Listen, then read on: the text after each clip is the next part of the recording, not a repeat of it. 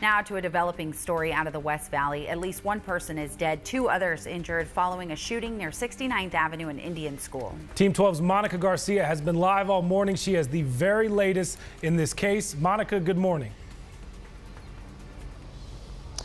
Good morning, guys. I can tell you what we know is police are saying they have someone in custody. It's someone they believe knew the victims. And now that the sun is coming up, we're getting a better idea of the investigation that's still taking place out here. To give you an idea where we're at, we're near 71st Avenue and Camelback Road. This is the second scene tied to a deadly shooting.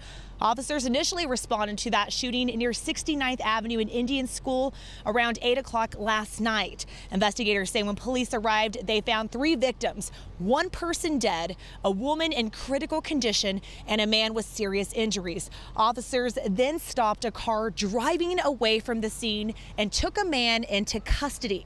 During the investigation, that brought police out here to where we're at this morning at 71st Avenue and Camelback Road.